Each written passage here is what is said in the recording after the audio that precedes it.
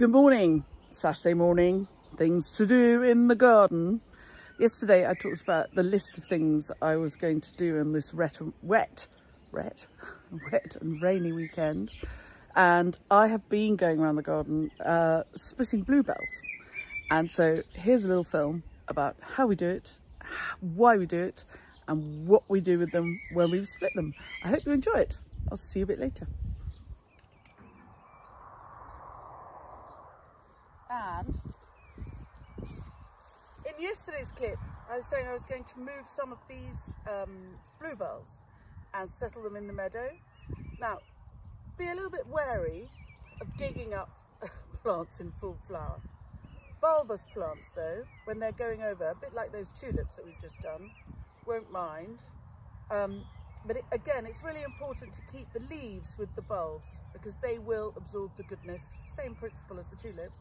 They'll absorb the goodness and help the bulb settle in for flowering again next year. So handy border fork, and I'm just going to dig it. I've got some clumps because they're they're moving across the bed here.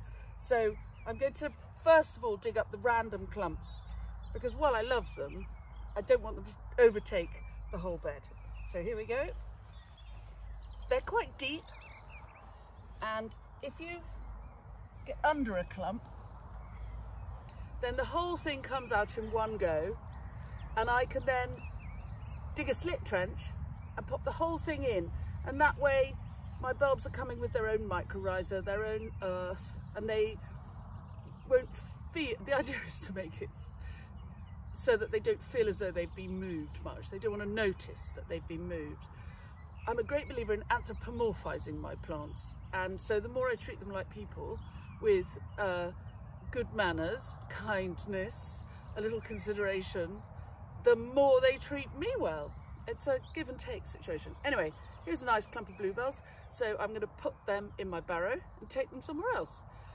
These are uh, the wild, British wild bluebell, Hyacinthoides non-scripta, uh, in case you're interested.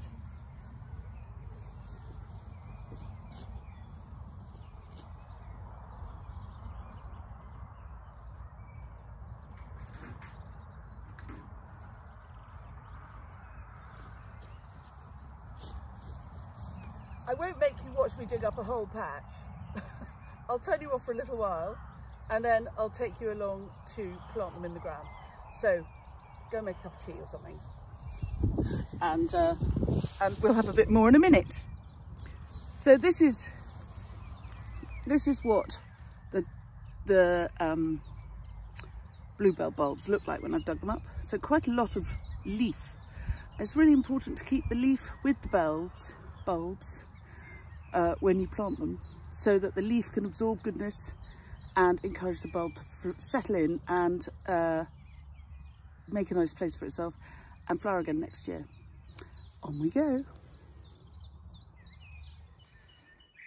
Now, bluebells generally are found in a bluebell wood. That's why people talk about bluebell woods. Now, I haven't got a wood, uh, but I've got a couple of fruit trees outside the kitchen door and this is a really meadowy patch that we keep fairly wild most of the time. It'll get mown later in the summer, but for the moment it's full of Tellima grandiflora and cow parsley and all sorts of other goodies. So I think it's a good place to put more bluebells. I have already, I always do this, I kind of garden on the hoof, but look, there's one I moved earlier, very happy, um, and it's done so nicely that actually now the rest of them have flowered I think I'm going to put some here so that next spring we've got a lovely carpet of bluebells coming. Ready, steady, go. So here I go. What I'm going to do is I've got quite a big spade so I'm going to make a slit trench any old where really. I might hit the roots of the apple tree, which just have to move around a bit. No, that's all right. Give it a good old squidge down, get as deep as you can. And I'm pushing the trench open with my spade so that I can then take a clump of bluebells look, they come with their earth. Nice clump of bluebells. The bulbs are still earthed up. So they won't really notice that they've been moved. And I make a, an opening by pulling the spade like this, tuck them in. I've literally thrown them in and I'm going to heel them in really well. Really get them into the thing and then keeping my foot on the bulb so they don't pop out again and pulling out this is very very wet clay which is why you need a bit of welly for this. Um, and I finish heeling them in and they don't look much I'll show you but they should settle in for the rest of the year and hopefully flower again in the spring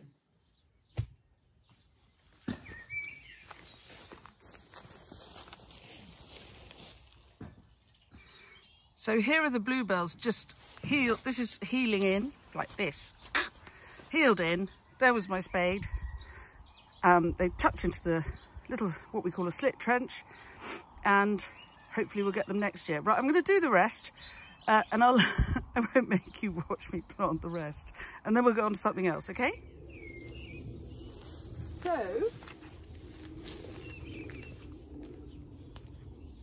so there grass is looking a bit trampled now, but I've popped all those bluebells in. I'm being followed around by Mrs. Robin. I'll see if I, I can, I'm useless at filming birds. The minute you hold the camera up, they spot you and run away. But she's following me around and any of the worms that I'm, my feet are trampling the ground a bit and bringing the worms up because they think it's rain and hammering the ground with a spade or a fork makes the worms think it's rain. So she's really feasting behind me, which is great. Um, because I know that she's got a nest full of babies on my daughter's windowsill, which is being overwhelmed by ivy. so, you know, you can live wild. The house might fall down, but at least the robins will live. Anyway, um, hopefully next year this will be a lovely patch with more bluebells. It will take a year or two to establish. You know, they don't, there's no such thing as an instant garden.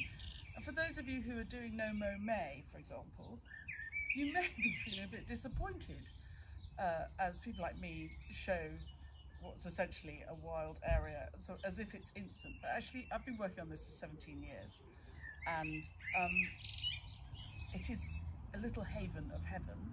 It is full of dock, many different kinds of thistle. Uh, but when we came here, it was a green desert. There was nothing here much except for some really hefty daffs every now and again. Um, so we've really encouraged the wild in. And if you are thinking of letting some of your grass go a little bit wild, then it's really worth tucking a few things. Now there's some sparrows.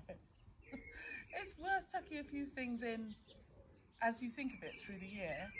Don't mow too tightly allow things to seed into the lawn and then next spring you might find it a bit more. You know like my friend Katie who's going to have tulips in her long grass and we're going to have bluebells in our long grass. It all takes a little bit of planning. There is no such thing as long-term instant gardening. No such thing. There is the Chelsea Flower Show which is an example of what you could achieve over many years in your domestic situation sorry disappoint if you were hoping. But you know, you make a garden, a go you don't make a garden for now, you make a garden for generations to come. Somebody very kindly planted this Blenheim orange apple tree, probably two, three generations ago, I don't know how old it is. And it's certainly provided our children with an early climbing frame. When they were tiny, we'd have a rug on the grass here and they'd just roll around on the grass. And now I think the only people who really notice it are Fabrizio and I. And it gives us pleasure, I cannot tell you. So somebody kindly planted this tree, safely knowing that they would never ever see it in its glory. And that is what gardening's about. So these bluebells, I hope, will settle in.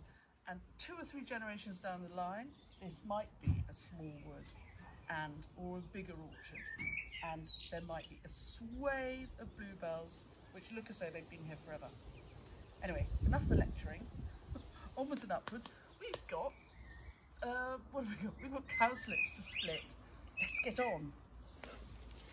Things to do, people to see, parties to go to. Yes, yes, onwards and upwards.